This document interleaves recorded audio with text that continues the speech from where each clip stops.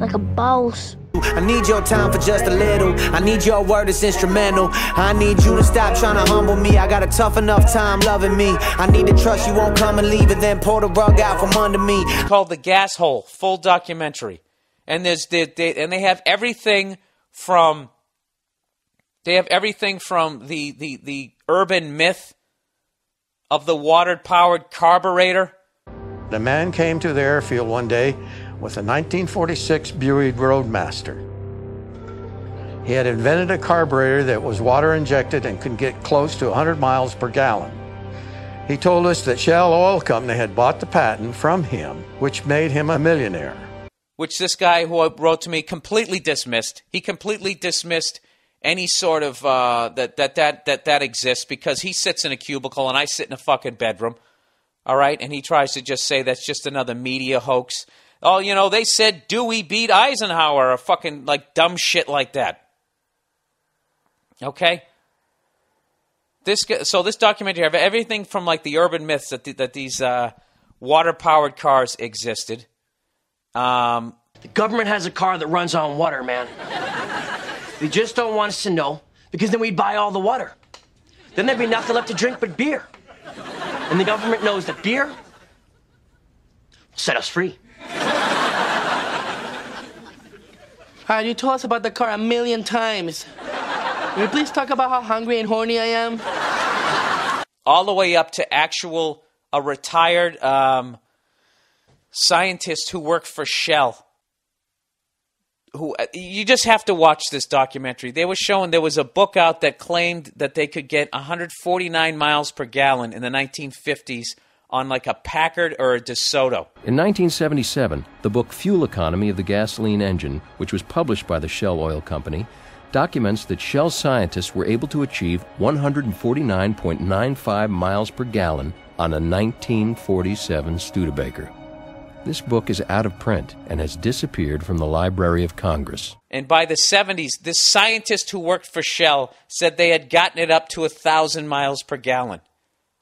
All right? In February of 2007, they were able to interview a retired Shell scientist living in England. My name is David Blackmore, and I'm, I worked for quite some years in Shell Research. I edited the book called Fuel, Fuel Economy of the Gasoline Engine. Uh, and we normally would test our fuels in real or, or sometimes prototype vehicles and engines that uh, we would have uh, contact with with the the motor industry, the motor manufacturers. It began uh, something like 49, 50 miles per US gallon. Um, when the specials began, it was um, they managed to get into the hundreds of miles per gallon, but there was still some quite excitement in a few years before the, the thousand mile per gallon barrier was broken, which I think didn't happen until the late 1970s. I don't know why people think that it's it's absolutely impossible to improve the gas mileage. Some people feel that. I don't know why people feel like we can't come up with anything better than the gas combustion engine. It's complete fucking bu- it's the same level of bullshit as that there's an actual difference between a Democrat and a Republican. Watch this documentary, The Gas Hole. We're going to have the link up on the Monday morning podcast. Just watch this shit and I, I, don't know what to tell you. Some of it looks like okay. They, they, they, have this old guy going, you know, and this guy showed up and he had it, it was a contraption made out of, you know, it was powered on water. And he raised the hood and we looked at it. I don't know, it just looked like a bunch of crap on there, you know. but anyway, uh, we looked at it and didn't think much of it because it was just a gadget as far as we were concerned. So we didn't think too too much more about it we were sitting there talking about it, and he, he said that Shell told him he couldn't rebuild uh, anymore. Uh, and he says, they bought my patent and made me a millionaire. And then he claimed that Shell bought the patent, gave him a million dollars, and then he could never fucking, you know, make another one. Now, that's the kind of shit. Some old guy saying that he saw it on a salt flat in the 1950s. I'm not going with that. All right, I'm not that much of a fucking whack job. But when a guy who worked used to work for Shell is coming out saying that type of stuff, it's just it gets to the point like are all of these people nuts? You know what I mean? There's no fucking way. I don't give a shit whether there's lead and gas, whether there's not lead and gas, how much the car fucking weighs, or any of that bullshit. There's no fucking way that in, in, in almost 40 years you can't do better than two more miles per gallon. I absolutely fucking refuse to believe it. I, I, I, I fucking refuse to believe it. I think it's complete fucking horseshit. It's just another way to, to keep control of the herd. Now, if you want to argue that you need to keep control of the herd or there's going to be absolute chaos, so we have to keep cars down like that, I will listen to that argument. But if you're going to come at me and tell me that in 2011, okay, when I'm reading shit that in the medical field, they can now grow a fucking a new colon for somebody outside of the body.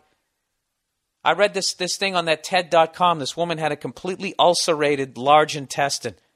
So they took some sort of tissue car- culture, whatever the fuck that means, out of her diseased colon, used that to then grow another one outside of her body. When they were done growing it, they took the old one out and put the new one in like she went down to Midas Muffler. And it totally fucking worked. Okay?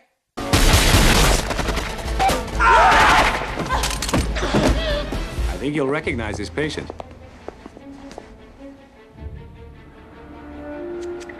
We had to build your friend Loomis a whole new ear from scratch.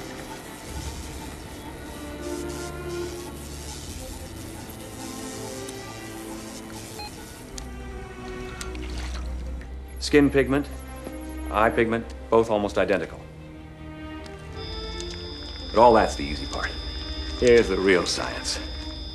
Up until like five years ago, you were looking at a colostomy bag. You would have a bag of shit right under her fucking right titty for the rest of her goddamn life. Her social life would have been over. Okay? All right. So it looks like my skin is doing a lot better. So I just take the bag, fold it over, and throw it away.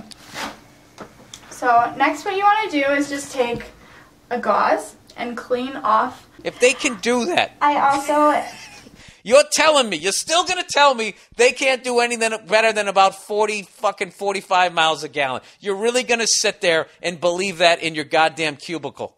That they just can't fucking, just can't fucking figure it out.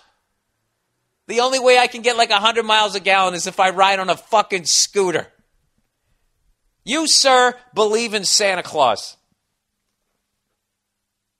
I, I just, I, it just blows my fucking mind how some people just sit there and they believe that they believe that they're not even conscious of the amount of times that they themselves lie during the course of the day, that they themselves spin shit to try to, to try to advance their own fucking lives. Why would you think that a goddamn corporation would be honest? You know? This guy's saying advances in your computing, your music collection, and video conference are strictly due to Moore law. Moore's law, excuse me. Computing power roughly doubles per square inch every 18 months. That means since 1978, it's doubled 28 times. Yes, I understand. I understand that computers have, have, have advanced. Why hasn't gas mileage? It's just, it's just fucking, I, I, I ugh. And, and this is another thing too. So then he uses that same sort of ratio with the gas mileage, and then he goes back to what the fuck the gas mileage is in the 70 was, as if that wasn't a fucking lie. I, I don't. I give up. Sir, could you please watch this gas hole documentary? Could you please watch it? I know you're not a moron. It just frustrates me when people believe in corporations that they're actually doing the right thing, despite the fact the amount of times that there's been unclassified information and then you find out kind of what's really going on. And every time it's, you know, it's usually some diabolical shit. How many corporations have to dump shit into the water supply before you stop trusting them? You know?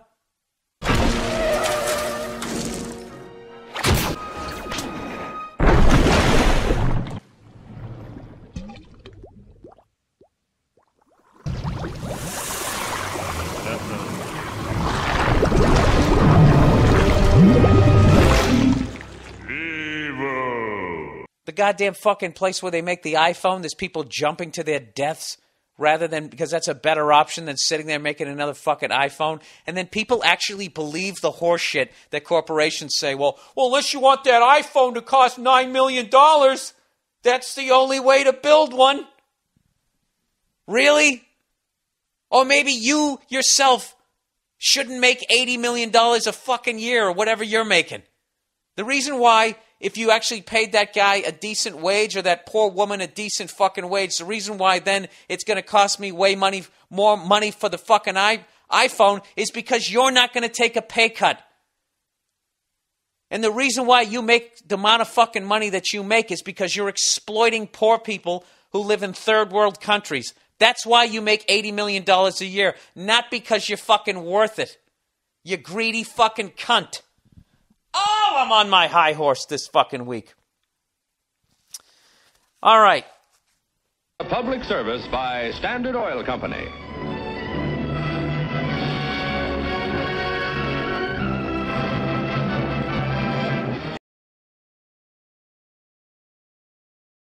Now we cooking with Joe. Come on. Yeah! Oh, what now? Come on, who bought this gelato? What a piece of junk. Well, that was a short trip. Uh, looks like we're out of fuel. What sort of juice does this crate take? Uh, plutonium, I think. Oh, terrific. Maybe we can get a tow to the nearest plutonium station.